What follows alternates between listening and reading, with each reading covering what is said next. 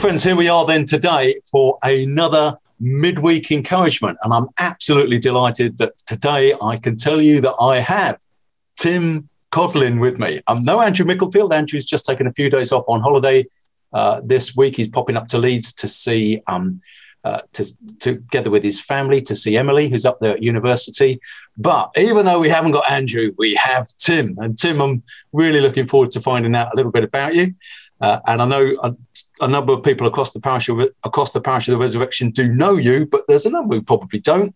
And even those that do know you can find out now a little bit more about Tim Codling. And I'm sure, friends, this will be an encouragement for all of us. So, Tim, question number one is always the same whenever we do a midweek encouragement. Tim, how do you take your tea?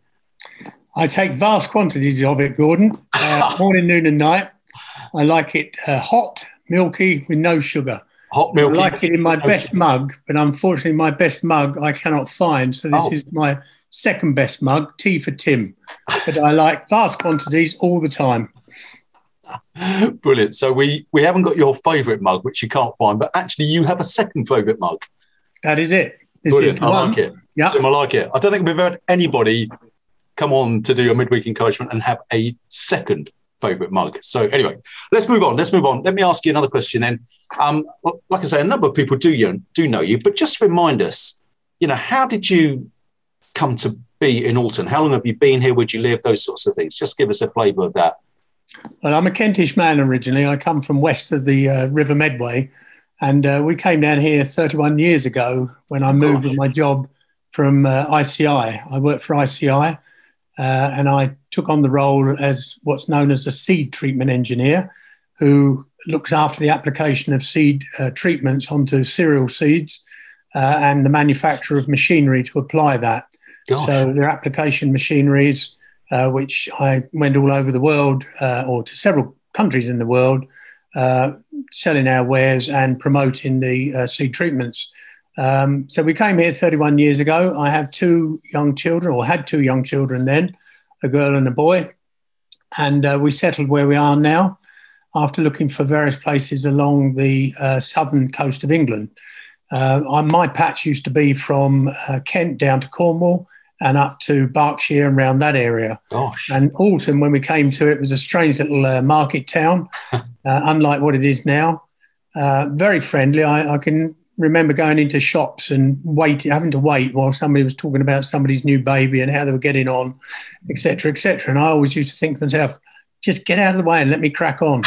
but then I realised that um, people here had time for you and they would talk to you. Yeah. So we settled here. And as I say, we've been here 31 years.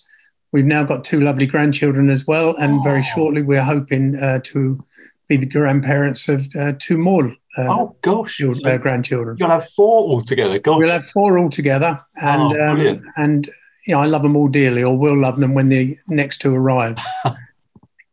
brilliant, thank um, you, Tim. That's, yeah. that's great. How, how, long? So, so you retired to Alton, in effect, really? Was that or? Uh, I retired ten years ago. Oh, okay. Ultimately, um, I applied for this position of a seed treatment engineer, which meant that I had to move somewhere in the middle of the south of England, uh, either on the coast area or somewhere like that.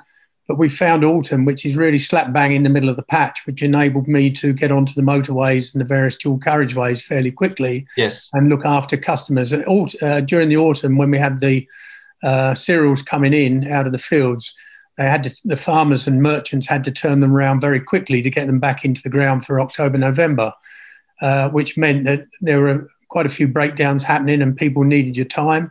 So it meant rushing around. And um, as I say, you could get down to Kent and then get a call from Cornwall. Gosh. So you were kept on your toes for at least three months. Golly. Tim, that's that's really amazing. I didn't know that. I didn't know. I knew a little bit about what you uh, uh have done for a career, but gosh, that seems, sounds incredible. Let's let's just take it on a little bit, stage it a little bit further now, and just tell me, just give me a little bit of a flavour because you're a member of the Parish of the Resurrection uh, mainly tend to go to St Lawrence, but very much part of the parish. Tell me just a little bit about, tell us a little bit about your your faith journey, how you got to this point. Well, I suppose I've always been a Christian. Um, like a lot of people, I got to a certain age uh, when I left the church and down in Kent, I mean, my dad used to look after the grounds there. My mother looked after the cleaning in the church, oh. big old Anglo Catholic church. I sang in the choir along with my brother. And uh, eventually, when we got married, uh, I still maintained a certain amount of faith, but not as uh, much as I did uh, in the early days. Uh, then I tended to move away from the church, like a lot of people possibly did in my teens or later in my early life, in my early 20s. And, um, then when we came to Alton, I, I don't know, there's sometimes God works in mysterious ways. And I sit looking at the congregation sometimes and look at people of faith on the television, and they have these epiphanies where suddenly they see the light. And I've been waiting for that for 70 years now. Um, but I've never given up hope. And sometimes I look back and I think to myself, well, I have got my faith, and it's not been an epiphany, but it's gradually grown on me. And, and the reason why perhaps I do so many things in the church and for the church is my way of serving God, and, and He's called me to it, and um, and that's maybe my role as a Christian. Absolutely, Tim. And uh, for many people, it isn't an epiphany. For some, it is. For some, it isn't. Uh, and it, God sort of works in us in different ways, doesn't he?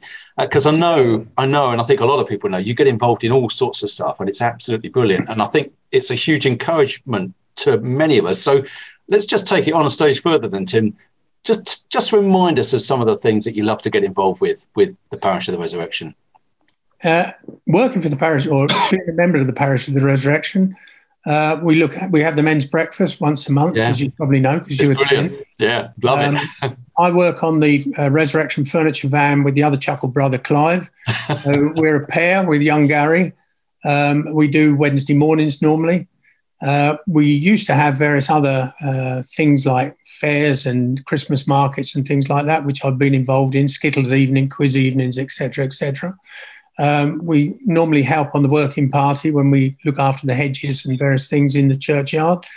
Um, so we have many fingers uh, in many pies, really, and uh, I'm.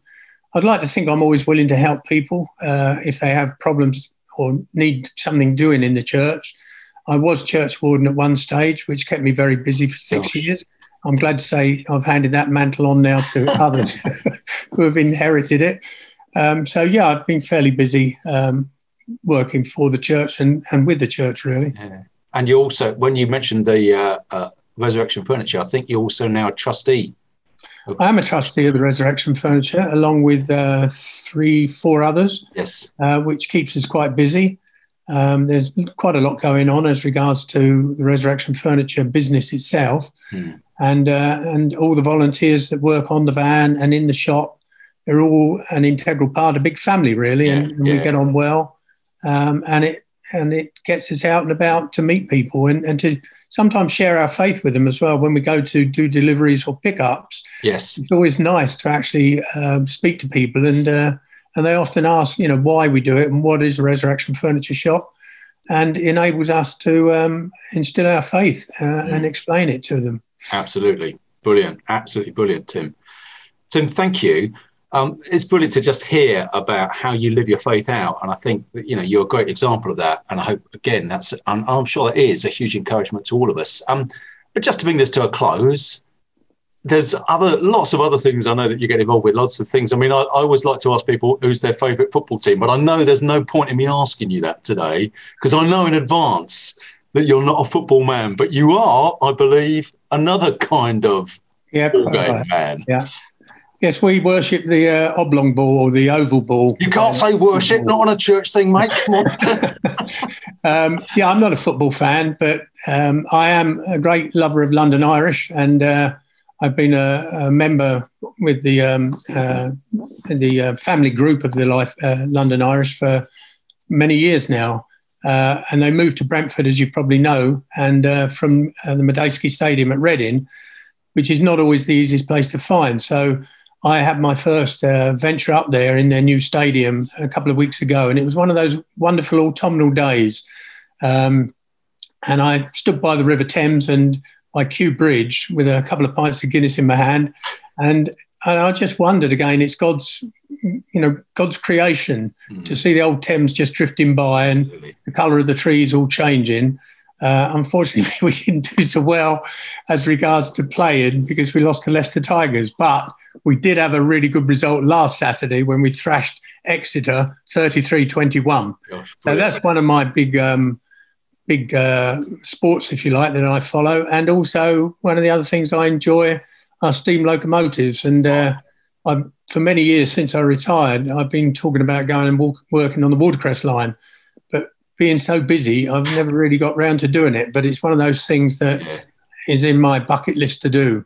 So yeah, I'm got quite a lot to do and keep me company and, and keep me busy, really. Yeah, brilliant. Tim, thank you. Thank you so much. It's really, really, good, really good to hear from you and yeah. uh, great for other people to hear a little bit about Tim Codling. Just give a plug there to the men's breakfast as well, which you organise and make happen. And it's absolutely brilliant. So, guys out there, if you've never been to the men's breakfast, try it. It's a fabulous breakfast, always a good speaker. And Tim always organises it brilliantly. So, um, Tim, let's close. Let's close now because we can't talk forever. Uh, let me finish. I'd just love to pray for you. Let's pray, shall we?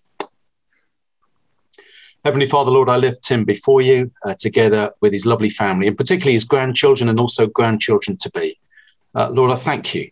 We thank you for all that Tim does, the way that he gets involved uh, across the parish of the resurrection, serving you through um, resurrection furniture, uh, through organising the men's breakfast, uh, and through just generally helping people out in all sorts of ways.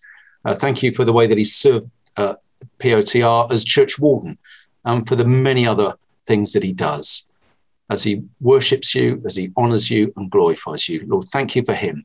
And would you bless him and protect him and watch over him and his family? In the name of Jesus, we pray. Amen. Amen. Thank you, Tim. Good to see you. Bye for now, mate. Cheers, Gordon. Thank you very much. Bye bye.